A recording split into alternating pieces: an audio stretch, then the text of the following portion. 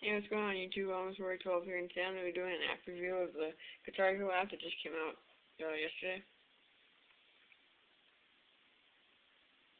Alright.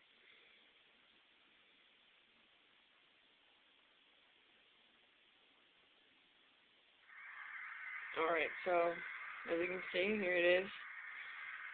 Um, backstage, what that is, is you can create your own person as seen here, you can just like tap where you want it, and you can do things. And yeah. And for the ones that that are locked, it's just like the original Guitar Hero game. You have to get money and different things like that. It also has uh, achievements right here. You can see you get higher in levels, just like the original Guitar Hero games. It's got a store. Uh, yeah. And he has all these songs. Now, they come in three packs as of now, and they're one ninety nine, which is pretty good considering the other games are 99 cents a song. And they play a song, but I can't have the volume on. Now, it's actually pretty hard because I can play expert on Guitar Hero normal, but this one's pretty hard.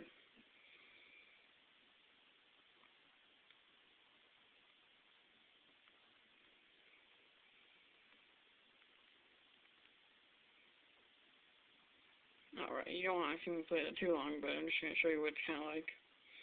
It has, like, different, like, just tapping, but then also has, like, sliding. It has a star power basically everything that Guitar Hero has now, as you can see right there, it slides. Alright, so I don't want to play that too much. But that's basically it. I, I believe it comes with like 10 songs free, and the rest of them you have to buy. So, you know, it's it's two ninety nine on the App Store right now. So go check it out. Thanks for watching my review. Please uh, comment if you have any questions and subscribe.